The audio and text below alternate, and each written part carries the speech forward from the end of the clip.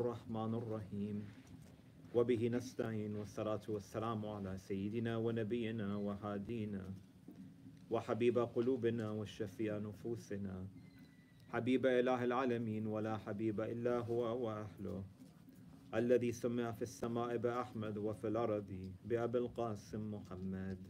اللهم صل على محمد وآل محمد ثم الصلاة والسلام على أهل بيته الطيبين الطاهرين المعصومين المذلومين المنتجبين. قال الله العظيم في محكم كتابه الكريم وقوله الحق ولستق القائلين أعوذ بالله من الشيطان الرجيم. بسم الله الرحمن الرحيم. خلق السماوات بغير أمد ترونها وألقى في الأرض رواسي أن تميد بكم وبث فيها من كل دابة وأنزلنا من السماء ماء فأنبتنا فيها من كل زوج كريم. هذا خلق, هذا خلق الله. فأروني ماذا خلق الذين من دونه بل الظالمون في ضلال مبين. آمنا بالله. صدق الله العلي العظيم. subhanahu wa ta'ala, like we know, created us for one primary purpose. And that is that we exert ourselves in devotion to Him subhanahu wa ta'ala so we can actualize the true meaning of what it means to be in a state of servitude to Him. He states, وَمَا خَلَقْتُ الْجِنَّ وَالْإِنسِ إِلَّا لِيَعْبُدُونَ That I did not create man nor jinn except with the primary purpose of being in a state of obedience and worship to Allah subhanahu wa ta'ala. A man, he comes to Imam Ja'far as-Sadiq, he states, Yabna Rasulullah, ma ma'na hadhihi al-ayah? What does this verse mean? To the Imam's response was very clear. He states, خَلَقْتُكُمْ لِلْإِبَادَةِ There is no sort of deeper meaning toward this verse other than the fact that Allah subhanahu wa ta'ala created you for worship. Worship, of course, has many multitude of different lenses to it. It doesn't suffice only that worship is in standing or in bowing or in prostrating or in other ritualistic acts like that of fasting during the month of Ramadan or performing Hajj or giving in charity. But every one of our acts, every one of our moments can transcend to a state whereby if we're doing it for the sake of Allah subhanahu wa ta'ala, it can also be a manifestation of worship of Allah Azza wa Jal. And everything within the creation of Allah subhanahu wa ta'ala is also in a state of obedience and worship of Allah subhanahu wa ta'ala. يُسَبِّهُ لَهُ مَا فِي السَّمَاوَاتِ وَمَا فِي الْأَرْضِ As God states within the Holy Quran that everything within the heavens and within the earth is in a state of the glorification of Allah. How could the bird in the sky, how could the clouds, how could the ocean, how could the trees, How could all of these creations of God be in a state of God's glorification when most of them don't have the ability to speak, when most of them they don't have the ability to communicate, to explain, to rationalize in the way that you and I do? We believe in this concept that every single one of the creations of Allah subhanahu wa ta'ala, within their own mold, have the ability to be in a state of God's glorification. And even me, in a state of obedience to Allah subhanahu wa ta'ala, in a state where I don't believe in a God or blaspheme Allah subhanahu wa ta'ala, I am also a testimony to the very existence of Allah Azza wa Jal. Which is why many scholars of Ilm al-Kalam, they make this differentiation between that which is known as obligatory submission versus that which is known as voluntary submission. Obligatory submission is the fact that I exist. My blinking of the eye is submission to Allah subhanahu wa ta'ala. The ability for me to wake up in the morning is not without the grace of Allah subhanahu wa ta'ala. My awakening in the morning thus is a sign or a demonstration of my submissiveness in front of the Lord of the worlds. Whether I like it or not, I'm alive. Whether I like it or not, I have the ability to express myself. All of these day to day experiences that we go through during the course of our lives are symbols of the manifestation of a nature of submissiveness to Allah subhanahu wa ta'ala. Then there is something known as voluntary submission. The ability that I have to choose whether or not I will worship God today or tomorrow. I'm going to go to sleep. And when I wake up in the morning, I have a choice of whether I'm going to drink a cup of water after the sun has risen or not. I'm fasting. My obligation is to abstain from that drink of water. But at the end of the day, if I took a sip of that water, no one knows. And no one truly in dunya is going to hold me accountable, at least in the physical realm. Maybe Allah subhanahu wa ta'ala might choose to take away some blessings from me out of my act of disobedience, but I will not be imposed a punishment from Allah subhanahu wa ta'ala if I choose to drink a sip of water when I wake up tomorrow morning. Fair enough? I have a choice whether or not I'm going to perform Dhuhr prayers tomorrow afternoon. I have a choice. I could either do so or I could not do so. I have a choice to say I will perform Dhuhr prayers, but I won't perform wudu. It's cold outside. Making wudu makes me more cold, and I'm fasting, and I'm already uncomfortable, right? So why should I have to make wudu? I have a choice. This is known as voluntary submission. Most of the rituals, or all of the rituals that we engage in, we have a choice to either engage in them or not engage in them. You don't have to answer this question, but how many of you know people that, for instance, choose not to pray? They mm-hmm. know that prayer is a religious duty and obligation, but they're like, no, we're good. I'm not going to pray. There are plenty of people who say, I know that fasting is a duty that I have to be engaged in, but I just can't fast. It's just too hard for me. As if it's not hard for me, or it's not hard for you. There's a choice that someone makes, and this is what is known as voluntary submission. Someone might pose questions like, why is it that Allah subhanahu wa ta'ala dictates certain laws and certain rules that I have to abide by and that I have to follow? It suffices that Allah subhanahu wa ta'ala is the King of Kings and the creator of the heavens and the earth. And if He obligates me toward prayers or toward fasting or toward Hajj or toward a certain amount of money contributed in charity, my job is to be in a state of submissiveness, subservitude to Allah subhanahu wa ta'ala, because He's the creator and I'm the creation. The important takeaway, though, is that we as a human being, we have this opportunity to engage in choice and to volunteer or not with regards to how we are going to obey Allah subhanahu wa ta'ala. God has given every single one of us this intellect, this ability to perceive, this ability to know, the ability to recognize that these are my duties and these are my responsibilities. Fair enough? What makes me more unique than a tree? The tree and me, by virtue of me not engaging in any of these voluntary rituals, prayers, fasting, hajj, zakat, khums, so on and so forth, me not engaging in them makes me someone who transgresses the boundary of, of Allah subhanahu wa ta'ala, while the tree is doing exactly that which God has created it for. In its own submissive state, it is submitting to Allah subhanahu wa ta'ala. Everyone follow what I'm saying? I could actually be worse than a tree because Allah said pray. And I say no. He says fast, and I said, I'm to drink water tomorrow morning. He says go for Hajj, and I'm like, no, I'd rather go to Cancun.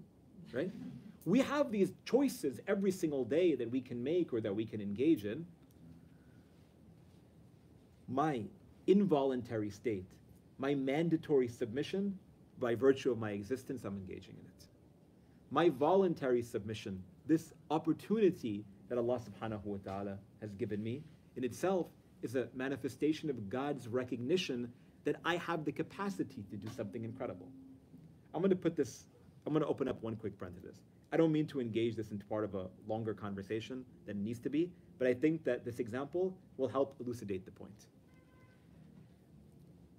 My older daughter, she is nine years old in the lunar calendar, which in our law, by the majority of our fuqaha, suggests that she is balagha, she's mukallafa, she has to fast during the month of Ramadan.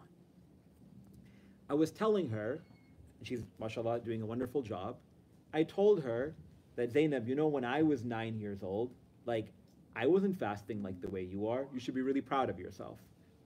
She'd ask me for $50 after I said that. and I told her, you can have anything that you want. But she said, how come you weren't fasting when you were nine?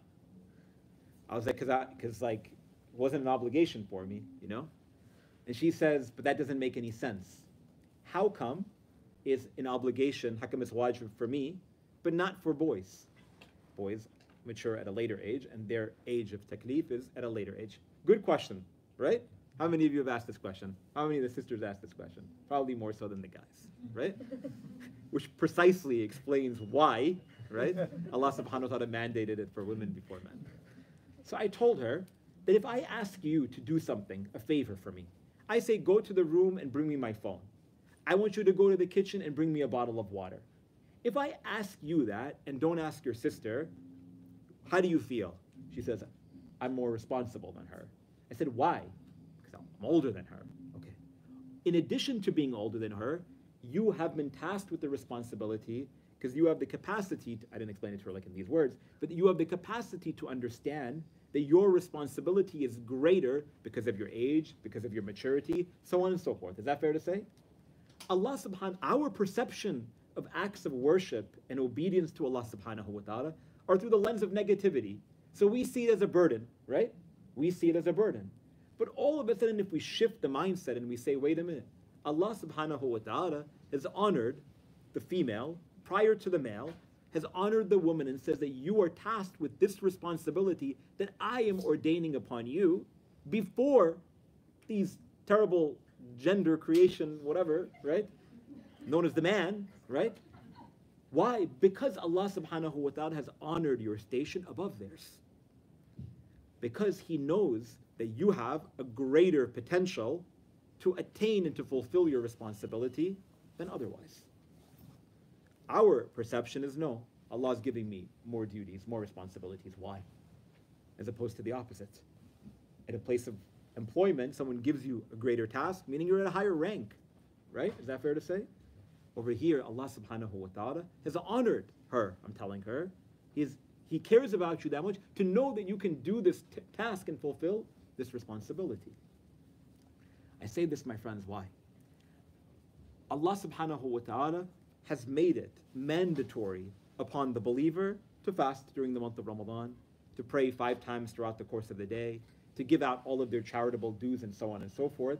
We, in an act of disobedience and transgression to Allah subhanahu wa ta'ala, say, like, I don't want this responsibility, you know? Why wouldn't you want this responsibility when it's something that God has endowed you with and has honored you with at the same time? I am worse than the rocks, than the stones, than the trees, than the water that flows without any sort of rationale or intellect if I choose to be in a state of open disobedience to Allah subhanahu wa ta'ala. Everyone follow kind of the example? Yes or no? So when we go toward these ayat of the Quran, this next set, Allah subhanahu wa ta'ala mentions several realities from amongst His creation, such that we reflect and we contemplate upon their physical, we should also reflect and contemplate upon their metaphysical. The metaphysical being, again, the fact that they themselves are also in a state of gratitude, in a state of submissiveness, in a state where they recite the um, uh, tasbihat of Allah subhanahu wa ta'ala, yusabbihu lillahi ma fi samawati wa ma fil ard. And for those of you who have been following, we've been taking a look at Surah Luqman, which is chapter 31 of the Holy Quran, and we are at verse, huh? 10. We're at verse 10. Allah subhanahu wa ta'ala, after speaking about the characteristics and the qualities of paradise, he begins by speaking about his creation, some of which in verse number 9 we took a look at, so you're not wrong. He states, خَلَقَ السَّمَاوَاتِ بِغَيْرِ أَمَدٍ تَرَوْنَهَا He begins by stating that Allah subhanahu wa ta'ala, He is the one who has created the skies without any pillars that you see. The sky that's above us every single day. When we look up at the sky, how come the sky doesn't fall down? How come the clouds are just present in the sky and we take it for granted? What happens if, like, the sun was to fall down on us tomorrow? A cloud was to fall down on us tomorrow? Allah subhanahu wa ta'ala is saying that I created the heavens and the skies above you without any pillars to hold them up that you can see. Meaning that perhaps there are, in the wisdom of Allah subhanahu wa ta'ala, certain mechanisms that He has created within this universe to allow for the sky to not fall down upon us. You take it for granted, though, the human being meaning. We take it for granted. We take the sunrise for granted. We take the sunset for granted. We take the sunny days for granted.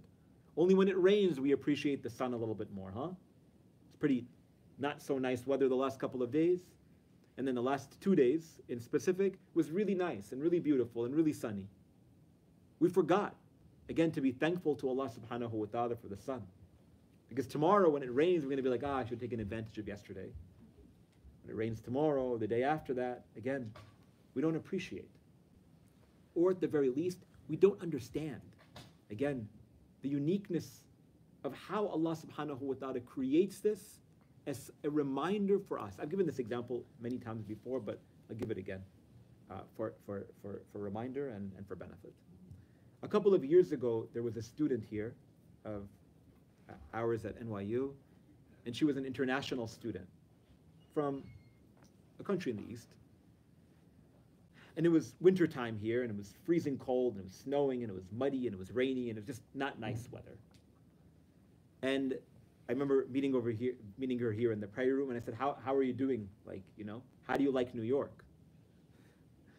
And she said, "I love New York." And I was like, "You love this weather, you know?"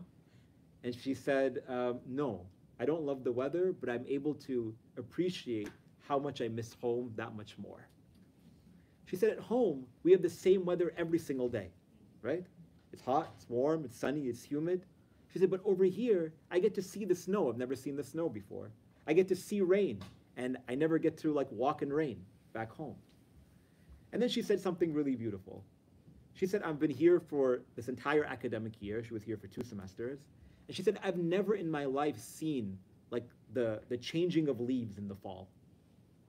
And she said, I appreciate like how beautiful that is. And I just love to stand outside every single day, sit in the park, and look up in my mind, I was like, what type of like wisdom is this like 19 year old kid dropping on me right now, right? I came to talk to her, make small talk, to complain about how terrible the weather is, right? And she is telling me about how much she appreciates the creation of Allah subhanahu wa ta'ala and all of these small subtleties that again for most of us we take for granted. Allah subhanahu wa ta'ala has created all of this change and all of this rotation and all of this nature around us such that we are reminded of Him subhanahu wa ta'ala. He states, خَلَقَ السَّمَاوَاتِ بِغَيْرِ أَمَدٍ تَرَوْنَهَا Number one, He has created the creation. He has created the heavens and the skies such that they never fall upon us. And He's raised them above us with pillars that you don't see. وألقى في الأرض رواسي أن تميد بكم وبث فيها من كل دابة. And at the same time, He has stabilized the earth with mountains. The majesty that appears when you see a mountain. And again, in and of itself, has minerals that can be extracted from them. The same way you see grasslands, you see mountains, you see diversity. Imagine everything looks the same. Imagine everything around you, no matter where you go in the west or in the east, looks the same how would you be able to update your Instagram profiles? If every place across God's green earth looked exactly the same, why would you go travel to the east? Why would you travel to the west? Why would you go to the north and to the south if the weather was always the same? The water looked the same. People love to come to New York City. They love to come to New York City because they like to see big buildings. We like to get out of New York City because we're tired of seeing big buildings. People who are in grasslands, they love to go to mountains. People who live on mountains, they love to go to. The diversity that Allah subhanahu wa ta'ala has created the universe with requires also a sense of awareness and thoughtfulness and appreciation, in other words. And God has to remind us of that consistently, as He does within the whole Quran, for us to reset our thinking for just a moment. The world is a lot bigger, you know? If you travel a lot, and if you don't, you should, to the best of your ability, Sometimes you're driving, you're flying, you're on a train, you're on a bus, I don't care. You look outside and you see the way that people live, you know? And you wonder like like how, how does this person like live in this, you know, farmland, right? Do they have Wi-Fi there, right? These are good questions to ask. You you know, I don't know, a little while ago we were driving, me and my family were driving to Toronto, right? Sacred city of Toronto. Best burgers in North America. Um, and you're driving like past like Albany, like you're going closer to Buffalo.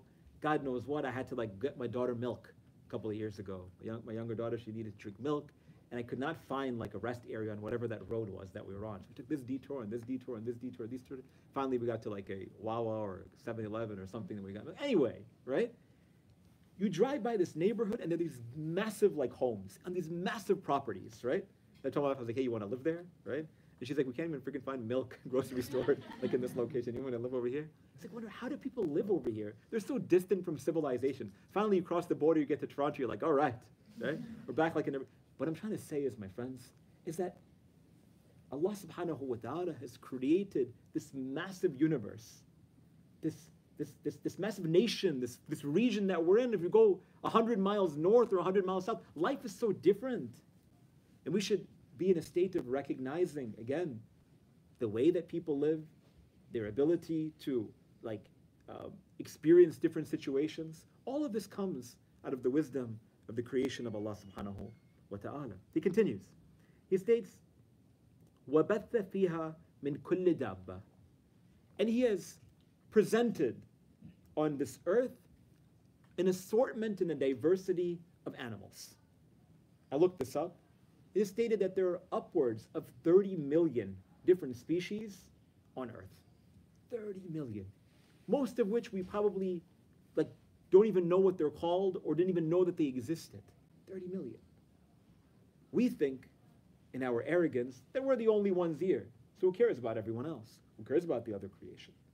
Allah subhanahu wa ta'ala wants us to remind ourselves about this importance of centering, like humility in front of Him every single day.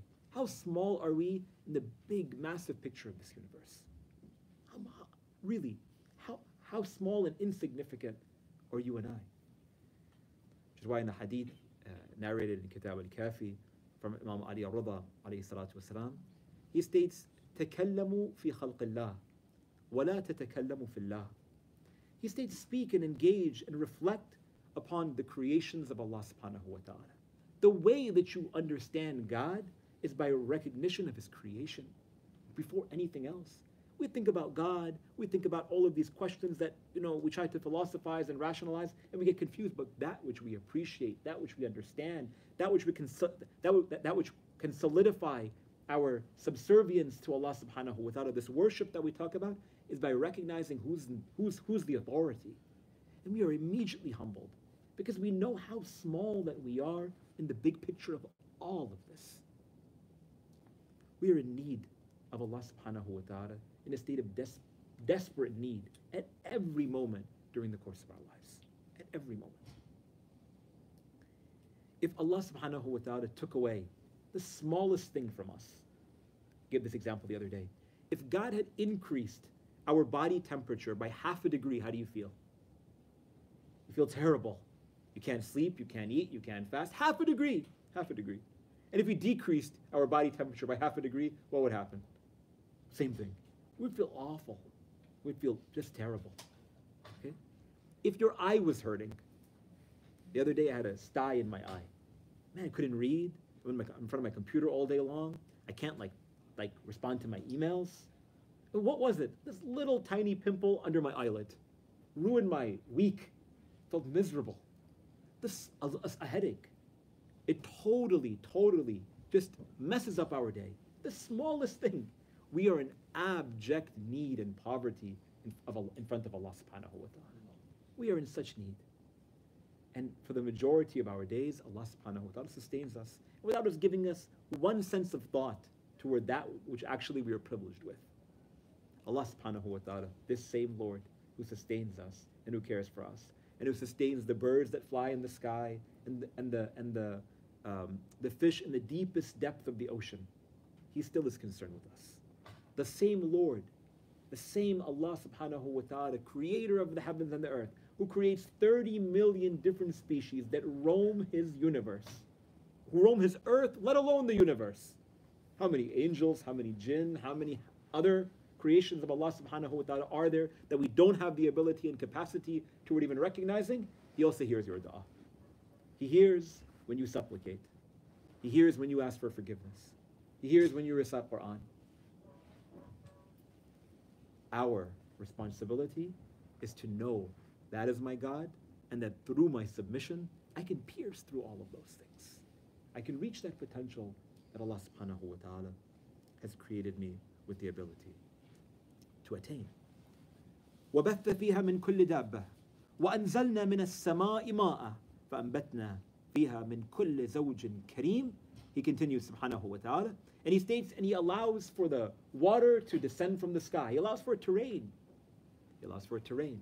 And through the rain, there are plants and there are crops and there are produce that are born into existence. It's pretty cool if you think about it. All of this assortment and this wide array of fruits and vegetables that all are a manifestation of the creation of Allah subhanahu wa ta'ala.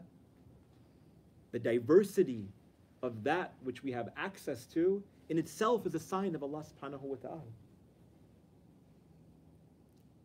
There's the strawberries, and then there's mangoes, and then there's bananas, and there's every single type of berry, and there's God knows what other type of fruits that are present in front of us, all which have a unique smell, and all which have a unique taste, and all which have a unique texture, and all which have a unique color. Allah didn't have to create with that sense of diversity. Imagine Allah only created strawberries. Would anyone complain? Would anyone say, why didn't Allah create the mango? You never thought about, you never seen a mango before. How do you know that Allah should have created the mango? There's probably another creation, like, right? Come up with the word. I have no idea, right? The mango berry. How's the mango berry, right? Allah should have created it. Your intellect couldn't even come up with the word in the first place. I had to use two words that already exist and put them together. You get what I'm saying? Our awareness of the creations of Allah subhanahu wa ta'ala are so limited. But out of His grace, He says, I'm going to give you this wide array and this wide diversity and this wide assortment of all of these different types of fruits. Imagine there was only the strawberry. I'm going to the grocery store. What are you going to get? What else am I going to get? I'm going to get strawberries. Imagine the only type of food that we had was rice. Rice and strawberries. Right? What are you going to the grocery store? What else am I going to go to the grocery store for? Rice and strawberries, nothing else and we'd be making like strawberry curries, putting it over the rice, right? Out of Allah subhanahu wa ta'ala's grace, His kindness. Again, if we didn't have the capacity to be exposed to all of these things, how would we know that all of these other things existed in the first place? You follow what I'm saying or no? Allah subhanahu wa ta'ala, He states, وَأَنزَلْنَا مِنَ السَّمَاءِ مَاءً فَأَنبَتْنَا فِيهَا مِنْ كُلِّ زَوْجٍ كَرِيمٍ He allows for the rain to descend from the sky, which gives life to all of the produce and this wide array of different fruits and vegetables and all of these other creations that all stem from the rain that falls from the skies. Let me just open up one quick parenthesis here. This same Lord that allows for these rains to descend from the sky, Allah subhanahu wa ta'ala at the same time, He knows where every single one, because He is Al Alim, the all knowledgeable. He knows where every single one of those raindrops falls. Every single one of them. He has that precision and that detail and that diligence and that knowledge to know where every single one of those raindrops fall. And which one of those raindrops is going to give rise toward the creation of a new plant, some new produce, some new fruit, vegetable, whatever it might be. This is the all knowledgeable Lord. Again, and sometimes we think that Allah doesn't understand us. Allah can't hear us. No. He can hear and He can understand and He's aware. In verse number 11, He states, Subhanahu wa ta'ala, Hada khalqullah. He states that this is the creation of God. فأروني ماذا خلق الذين من دونه. This is the creation of God, so go and look at it, first off. Go and look at it. Go and appreciate it. Go and reflect on it. Go and contemplate on it. Go and see. It doesn't take that much.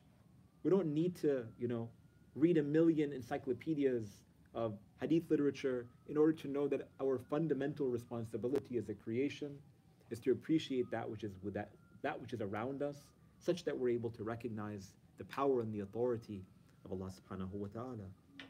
فَأَرُونِي مَاذَا خَلَقَ الَّذِينَ مِن دُونَهُ and go and see what the what others have created other than Allah subhanahu wa ta'ala. Meaning what do we have the capacity to think about? Where does our curiosity take us? Think about it. In comparison to Allah subhanahu wa ta'ala, we're an abased, humbled creation. There are those who believe that they're greater than God, better than God, equal to God, so on and so forth. Like realistically, what do we have the ability to do? What do we have the ability to do?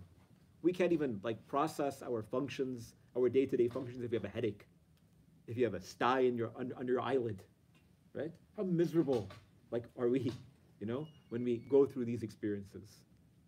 When our body temperature increases by a quarter a degree, how awful we feel. That's not in a way to make us feel terrible about who we are, but it's us, for us to remind ourselves of our nature, our abased state in front of Allah subhanahu wa ta'ala. And when we know that, and when we realize that, and when we recognize how humbled we should be in front of the Lord of the worlds, we unlock everything because we know that we're a servant of God. And there is nothing more beloved than being associated and connected with the Lord of the worlds. He states, بَلِ الظَّالِمُونَ فِي ضَلَالٍ مُبِينٍ And surely those who oppress their own selves, they are in clear error. Let me conclude with this in honor of the birth of Imam Hassan al-Mujtaba alayhi salatu wasalam. Very, very quickly. Of course, Imam al-Hassan alayhi salatu wasalam has many a unique merit, but I think that that which oft gets, that oft gets forgotten when speaking about him, salamullah alayhi, is just how he taught us in demonstration of what it means to be a servant of Allah subhanahu wa ta'ala.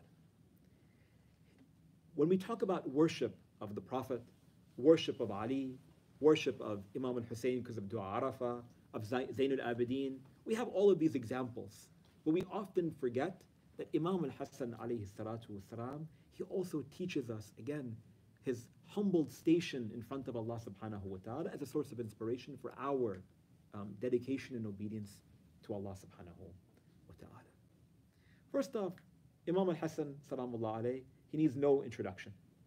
He needs no introduction for he is the son of the daughter of the Messenger of God sallallahu alayhi wa wasallam. He is the eldest grandson of the Prophet sallallahu alayhi wa His father is Ali and his mother is Fatima, and it suffices that he needs no other introduction other than he comes from the line of purity and infallibility. Peace and everlasting blessings be upon him. And even in this rank, and even with this station that he has attained, salamullah alayh, he would walk from Medina to Mecca. And he would stand in front of the Holy Kaaba. And he would recite lines like, Ilahi abduka bibabik. That, oh my Lord, your servant is at your door. They would stand next to him and they would state, You are the grandson of the Messenger of God. You are the son of Fatima. Why is your face pale? Why are you trembling before you're entering in front of the Holy Kaaba? He would respond, وَكَيْفَ لَا أَكُونُ كَذَلِكَ And why should I not be like in this state? For I am a servant of Allah subhanahu wa ta'ala. This dedication, this devotion that he teaches his companions, and he teaches us, is one of the manifestations that we should be reflecting upon when it comes toward the station of Imam al-Hassan alayhi salatu wasalam. I also wanted to share one other hadith from Imam al-Hassan alayhi salatu wasalam, which is one of my favorite lines, and nonetheless, it is super important during the course of these days that we're in, in which the Imam alayhi salatu wasalam, he states, رَأْسُ الْأَقَلِ مُعَاشِرَةُ النَّاسِ بِالْجَمِيلِ He states that the peak of intelligence is to treat people with beautiful conduct. That truly, if we are a believer and we walk in the footsteps of the best of creation, salamullah alayh, then our responsibility is to be the best. And it starts with how we treat other individuals. How we treat others, like we know, is a reflection of our own selves. And there's a lot of anecdotes. Many of you are familiar with the story of that man who comes to curse the Imam, who comes to kill the Imam, salamullah alayhi, from on behalf of Muawiyah, and the way that the Imam salatu responds to him. I don't want to get into this anecdote, but just really, really quickly. The Imam, salamullah alayhi, he teaches us this lesson again and we need to recognize and like implement this and try to utilize these nights and days during the holy month of Ramadan to supplicate to Allah subhanahu wa ta'ala that we're able to reach this height. Our interactions with people are a reflection of who we are internally. That's the truth. So when you see yourself getting angry and frustrated, I'm talking to myself before anyone else, with other individuals during these nights and days during the holy month of Ramadan, that's a reflection of where our heart is at. We need help. During this month of Reformation, which we seek toward purifying and cultivating our hearts, We need to ask and beg from Allah subhanahu wa ta'ala that He allows for these hearts to be purified to the extent whereby I'm always demonstrating good etiquette with fellow like sisters and brothers in faith. Imam alayhi, that which people were so brought to him and thus brought toward the message of the Prophet and of Ali and of Fatima, peace and blessings be upon them, was on the basis of how we interacted with other people. The way that we speak, the way that we engage, the way that we smile, all of these things, again, demonstrate where we are internally. We, as followers of the best of creation, Muhammad and Ali and Fatima and Hassan and Hussein, the children that come from their progeny, need to make sure that we take inspiration, lesson from the Imams of Ahlul Bayt, peace and blessings be upon them, such that we're able to walk in their footsteps by emulating their characteristics and their qualities. We ask Allah subhanahu wa ta'ala for tawfiq. والحمد لله رب العالمين وصلى اللهم على سيدنا ونبينا محمد وآله الطيبين الطاهرين اللهم صل على